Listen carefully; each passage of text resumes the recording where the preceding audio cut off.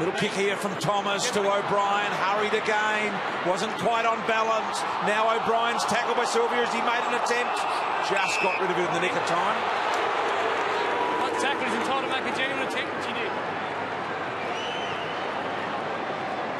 Love seeing that. Fred he had him by the hair accidentally, but he actually had a handful of hair in the end. I think it was. I think his fingers just got caught in the uh, unusual hair. There was any malice. Uh, yeah.